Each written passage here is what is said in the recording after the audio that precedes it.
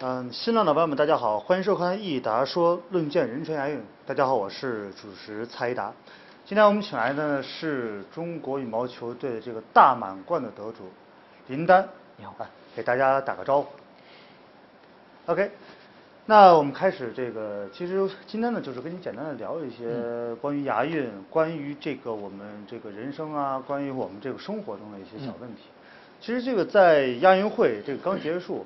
啊，知道你这次也是这个不负众望，拿到了这个男单的这个冠军。那在一零年你参加这个广州亚运会的时候，你也是因为这一块单打的冠军，你拿到大满贯。是。那这次的这个冠军对你的意义有什么意义呢？呃，其实这一次在出发的时候，我只是希望先把团体打好，因为在五月份的汤姆斯杯，我们中国男队失利了，零比零比三输给日本。在国内很多媒体包括球迷都很难接受，所以我希望在亚运会男团时候能够先把男团冠军拿回来。但是很遗憾，我们最终还是输给了韩国。所以在单项的时候自己就也没有什么包袱，就是一场一场去打。当决赛赢完以后，其实有些媒体才告诉我，你赢得这一下的呃单项的冠军是实现了两圈的满贯。对。所以我觉得，呃，当时才想起来自己是很很幸运的。如果是最终很遗憾，比如说没拿下冠军的话，可能就是还是单圈的。即使你已经走到决赛的这个最后的一刻了，但是你没赢下来的话，还是属于单圈的全满贯。那现在赢下这个最后的决赛是双圈，所以对于我来讲，是个非常值得骄傲的一个一个两次满贯。对，两次满贯。所以，啊，当然也会对将来的一些师弟们的这个挑战会更大。那他们要实现两圈全满贯更大，所以我觉得。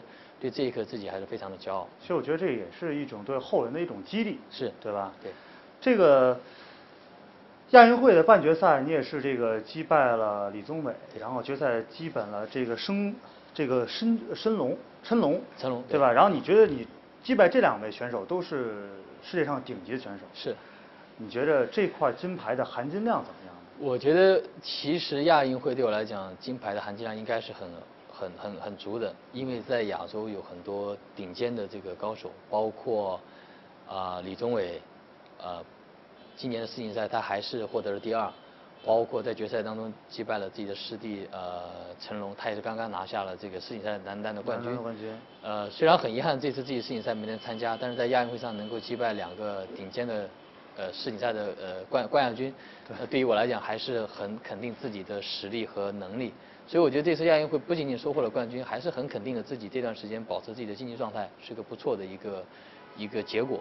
所以我也会很有信心的继续的训练下去。就是这次你看这次亚运会我们这个男团是输掉了比赛，是。然后也有外界说我们输掉比赛是因为可能有一些客观因素，比如说像空调风向问题。然后你在结束比赛以后，你也是向媒体就是没有说去强调这个客观因素。是。但是你后来。你们有没有总结是这个空调因素是是在其中的吗？呃，因为我觉得失利输球当然有很多的因素，我们也可以去总结，可能在某一个阶段的风向或者灯光对你有些影响，造成了比赛的输输掉。但是我觉得，再从客观来讲，可能条件还是同等的，可能你的对手他的他跟你使用的场地是一样的，那他可能也一定会受到这样的一些影响。所以我觉得作为一个竞技竞技的体育运动员，如果你想要击败对手，可能。还是更多要从自身找一些问题，所以我觉得有的时候就是这么的苛刻，所以还是可能要更多的找自己的一些问题。其实就是天时地利人和，其实都需要占，就可能有一些客观因素，但是其实我们还是要在自身去找一些自己的问题，对吧？因为并不是说你在这边不利的时候，对手就没有，他也是一样，对，所以可能更多时候还得要找自己的一些问题，找到找到根本原因去解决它，再去战胜对手。对，因为我记得在亚运会的时候。呃，在电梯口的时候，我碰到了蔡局，蔡局也在很关心的问我们说，是不是这个风向对你们影响还是很大？那当时其实我也说实话，是确实会影响我们的一些发挥。但是蔡局意思就是，呃，你的对手也是一样，那你们可能更多时候就要在平时训练当中去准备这样的问题，因为可能到了一六年的里约奥运会，在巴西可能也很热，依然也会有，他也会开空调，所以你们一定要做这样的一个准备。所以我觉得当时也确实是你不可能要求。非常非常好的，你再去比赛，我觉得那是不可能的事情。不可能说先要求别人去怎么怎么样，对对，应该先要求自己的实力去达到这个地步，然后再去说别人这个问题。对，适应适应的这样的一个苛刻的环境，尽可能发挥最最好的水平。其实，在外界有很多人说你是一个像标杆性的运动员，哦，对吧？从传统意义说说这个羽毛球呢，它算是体制内的运动，它没有那么的去是职职业化和商业化。对。但是你却拿到了这个史上说最好的成绩。嗯。但是其实我们抛开你作为一个运动员的身份，你在外面，呃，可以给你几个定义，比如说你像时尚先生，呃，广告明星，然后体育明星。嗯。那，你我想问问你是怎么去权衡？你作为一个运动员和这个作为一名这个这个对社会有积极影响力的人的这个这个协调性协调上，你是怎么去去去去运作它的？因为在过去可能大家会，因为在最很早以前的时候，我的汤显虎教练他有问过我，他你他说你们能你自己能不能表达出呃专业运动员和职业运动员的区别？因为当时很小，对这个概念好像很模糊。对。但慢慢长大以后，你发现其实。职业运动员可能会更强调自己的职业的生涯，而不是仅仅像专业运动员代表某一次国家参加一次大赛，获得冠军很满足就就退役了。那作为职业运动员来讲，他可能要求的更多、更长、更细。所以现在自己也希望把自己定定定位成一个职业运动员。虽然现在还是在体制内的一个项目，但是还是希望把自己能够把自己归为一个职业运动员，去很好的去努力的训练，尽可能的把自己的职业生涯能够延得更长。虽然在这个过程当中可能产生了一些商业价值，比如说拍广告或等等做一些公益的活动，但是尽可能还是要花更多的时间来来来到自己的赛场上和训练场上。所以我觉得把自己定义成职业运动员了以后，其实每天的训练就更加自觉，而不再是像过去这是一种可能就自觉，很自觉，然后有乐趣。对，就是很内心发起的时候，我今天要练什么，我我应该要很好的去把它完成，而不是像过去可能教练要求你很多。你很被动的去接受去训练，那我觉得现在这样把自己定义成职业运动化到职业运动员以以以以后的话，可能就会更加的更加的有目标性，对，有目的性，而不是每天知道自己要什么，对，而不是每天等着教练来告诉你你要今天应该练什么，应该练什么，自己就会给自己规划一个训练计划。是的。但你看你已经拿了这么多冠军了，然后你在场外你也是接了这么多这个广告，那你有没有就比如说你现在有没有一句话就想对你的师弟们呀，就是或者是。同行呃还在体制内，但是还没有觉得自己是一名这个职业运动，就是这个这个职业化运动员的，这有没有给他们告诫一句话，呃，或者是给他们一个引导的一个方向？因为我也我觉得，其实在我身上的一些一些东西，我相信可能很多的呃师弟师妹，包括可能其他项目的一些呃运动员，可能也会也会感受到。其实我也是希望他们能够更加珍惜自己的呃呃职业寿命。因为我觉得只有这样的话，你才有可能在很漫长的一个过程里面去实现自己的一些理想。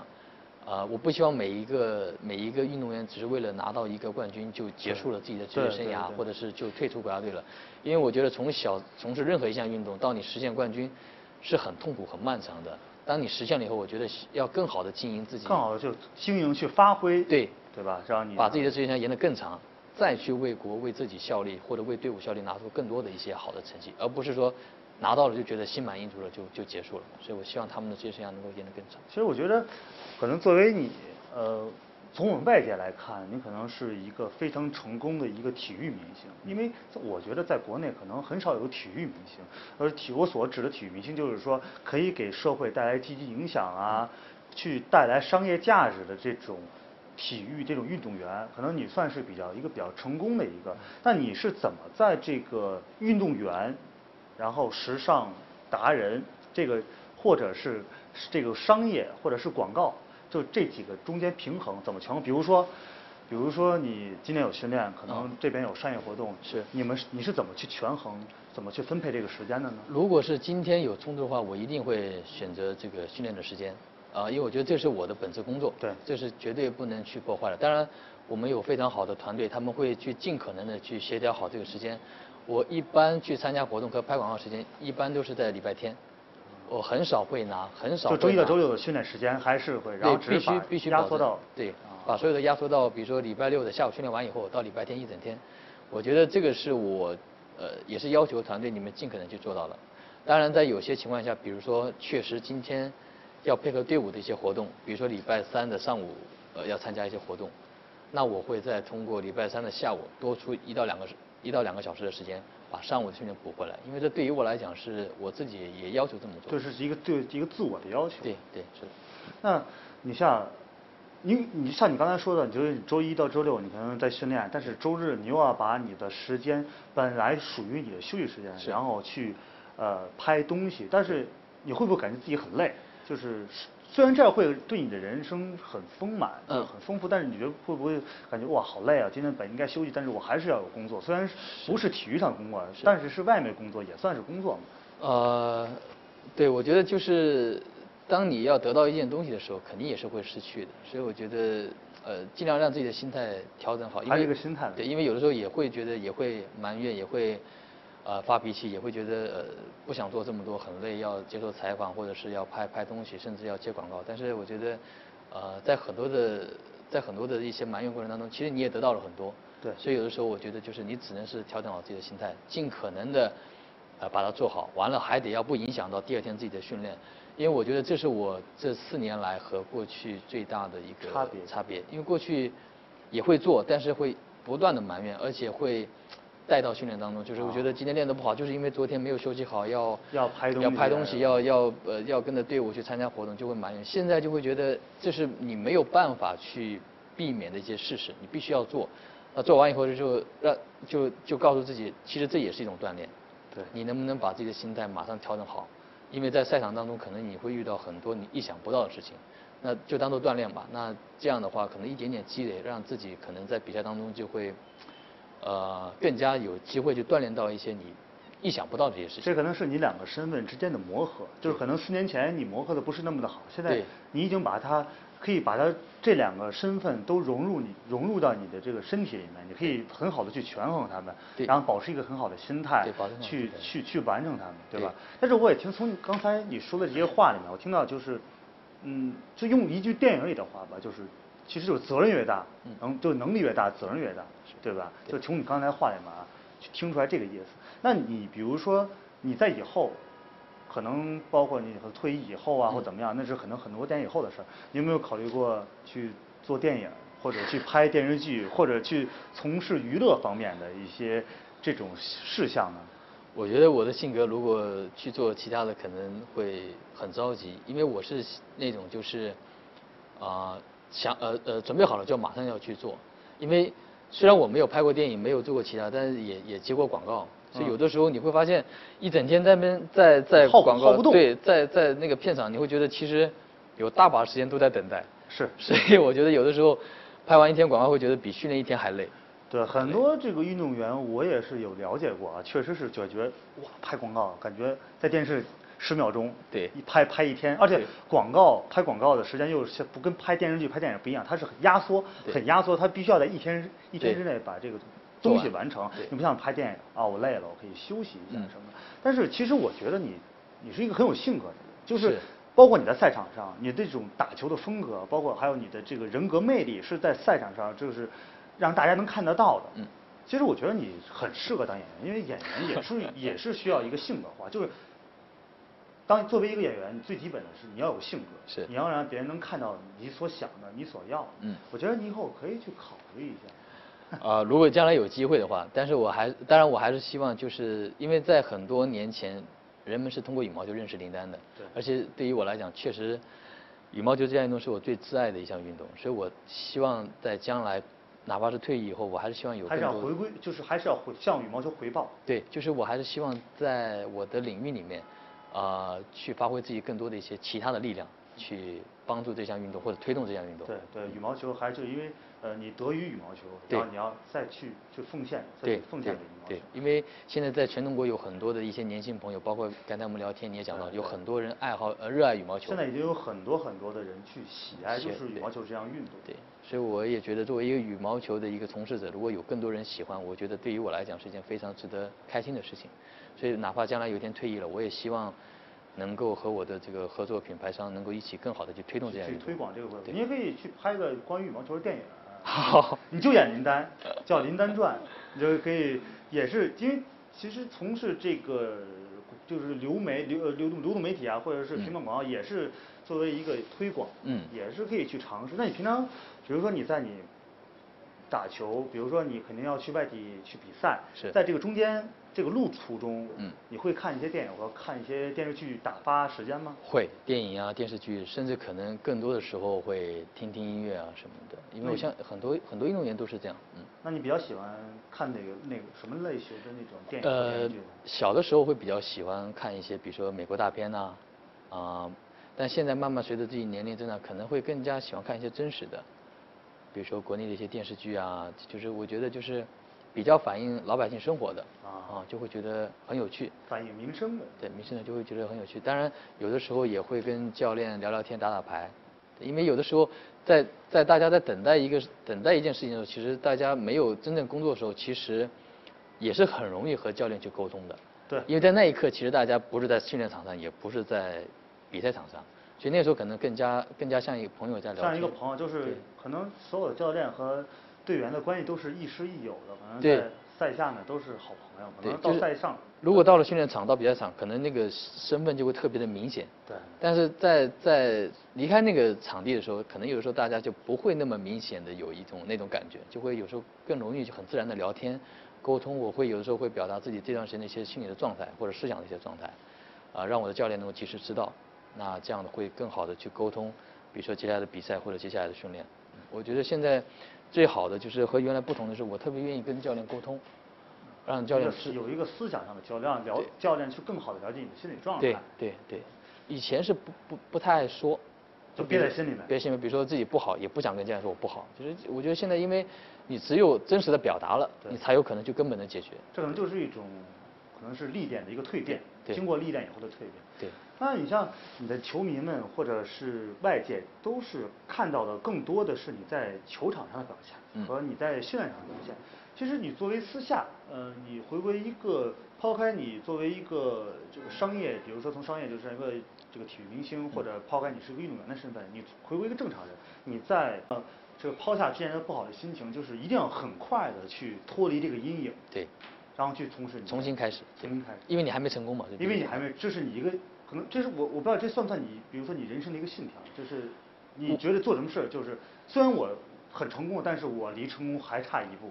对，就是没有达到就会尽自己最大努力去做，因为可能呃也可能是自己性格的原因，就是呃要求比较高，对不对？要求呃不太愿意承认好像自己就不行，啊，就是尽可能的还是把它做好。只是现在通过这么多年比赛历练了，可能更加成熟了，就是呃能够做到拿得起放得下。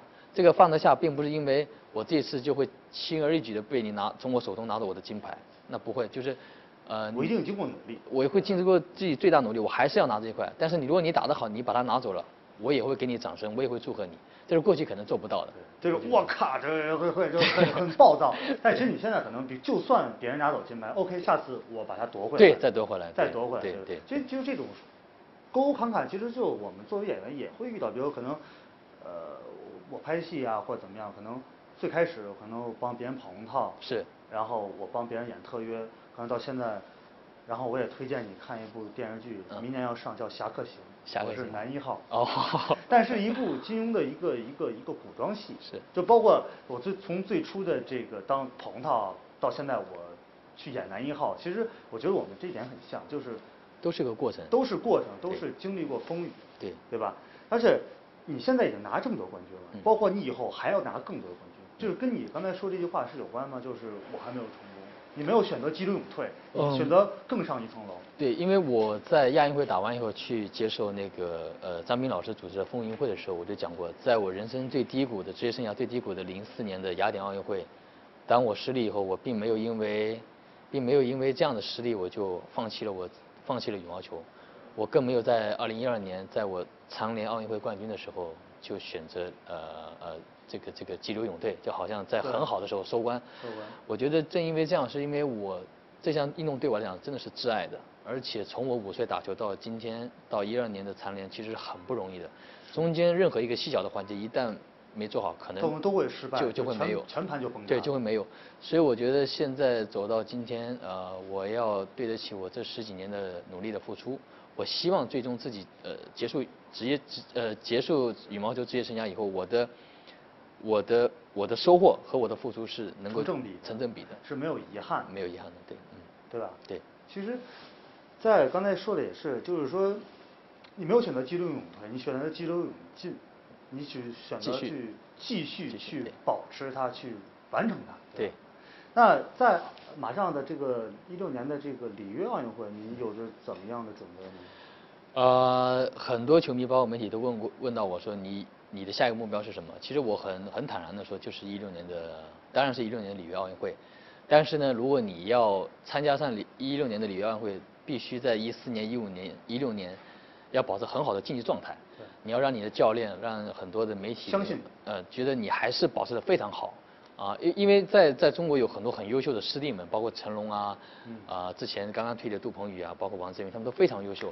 你不能因为说你是两届奥运会冠军，你就一定能参加一六年奥运会。我必须要拿出自己真正的竞技状态，让我的教练能够看到，就是选择林丹还是因为他保持非常好的一个呃状态和能力，才让他去的，而不是因为他是冠军，他是是拿了多少多少的一些一些好的成绩才让他去的。我我我不想是这样，我希望自己拿出最好的竞技状态让他们看到。那你刚才一直有说过这个这个职业生涯，嗯但是你有没有想过，你真正会到多少岁再挂牌呢？就是你有没有想，你你可能是尽量尽长的，嗯。尽量长的把这个职业生涯放大，但是你有没有想过多少岁去挂牌呢？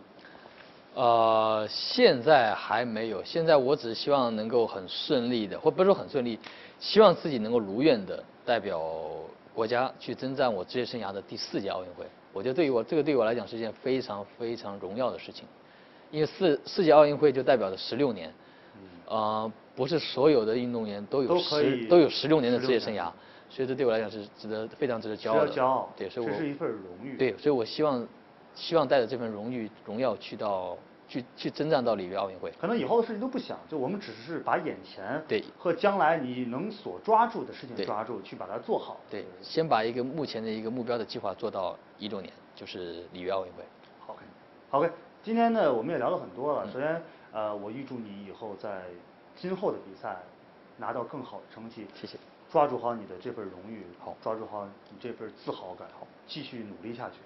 而且，呃，还有个小的环节啊，嗯因为我也知道你马上要去丹麦，嗯对吧？然后过几天也是你的生日，是。对吧？可能你的那些粉丝们，可能有说到这儿，你肯定也也明白了，嗯他们可能没法去丹麦嗯去送上这份祝福，嗯但是可能通过我的这档节目，哦他们有能力，他们想为你去做些什么，就是啊他们为你送了一个蛋糕，哦希望现在把这个蛋糕给你送上来，祝你生日快乐。谢谢谢谢谢谢。恭喜大哥获得双圈大满贯，哦，丹哥谢谢生日快乐！谢谢谢谢谢谢恭喜。吹吹一下吧，吹一下，我们还是走一下这个仪式。然后就这许个愿吧，这也是粉丝对你的一份心意。好的。好吧。OK。崔老师了吗吹了吧，吹了吧，就做个 ending 嘛。？OK。OK，生日快乐！谢谢谢谢辛苦辛苦辛苦。